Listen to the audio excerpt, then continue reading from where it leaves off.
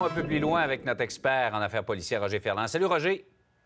Allô, Jean-François. Avec cette arrestation, ce qui est bien, c'est qu'on n'arrête pas juste le menu fretin en bas, les petits voleurs, mais on monte à, la tête de ces réseaux-là de voleurs de voitures. Puis c'est même essentiel d'arriver à le faire, Jean-François, dès qu'on a la chance.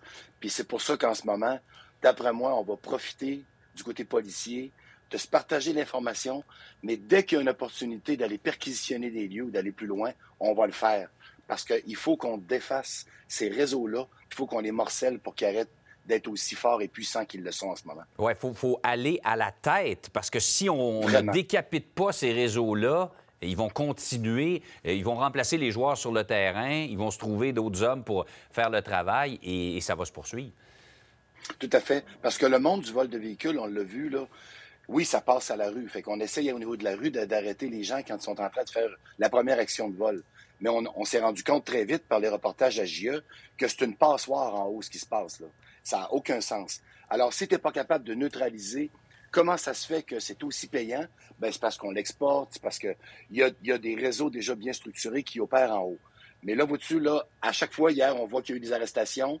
Il y a eu, comme vous l'avez dit précédemment, quelqu'un de cette équipe-là qui s'est fait tirer dans un parking, parce que trompons-nous pas, entre eux aussi, ils se chicanent, là. Mm. Entre eux aussi, ils veulent avoir la tête en haut.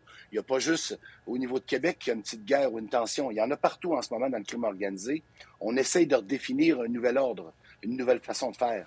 Mais là, du côté policier, on va profiter des opportunités quand il y en a. Puis là, vois-tu, des gens sont arrêtés. on va perquisitionner les lieux, on va essayer de trouver des éléments de preuve qui mm. vont permettre d'en accuser d'autres et de montrer la machine comment on procède. Alors, ceux qui pensent que les vols de voitures, là, c'est des, simplement des crimes contre la propriété, détrompez-vous, il y a de la violence d'associer à ça aussi. Il y en a beaucoup, tout à fait, parce que c'est extrêmement payant. Considère que si le petit gars dans la rue était capable de recevoir quelques milliers de dollars pour son vol, c'est parce que c'était très lucratif en haut.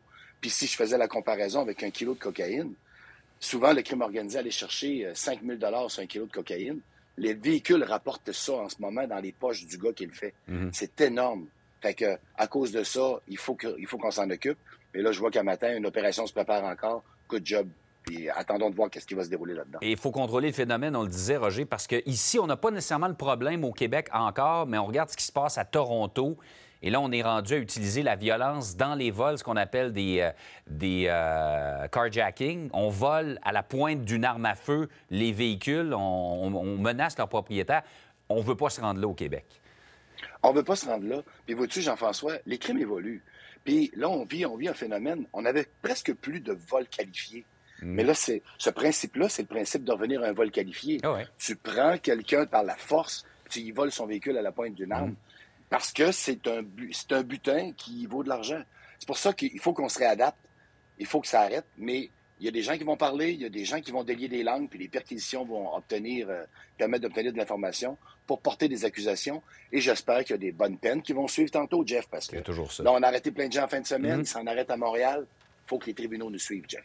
Euh, en terminant, ça survient quoi quelques semaines après ce sommet euh, national sur le vol de véhicules?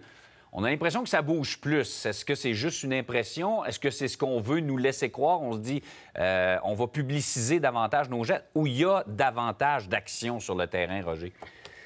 Il faut comprendre, Jean-François, que ces décisions-là de travail, ils viennent avant tout de la tête. Hmm. Si les patrons ou si les autorisations ne donnent pas le goût pour qu'on puisse s'occuper de ça, ils vont nous faire s'occuper de d'autres réalités.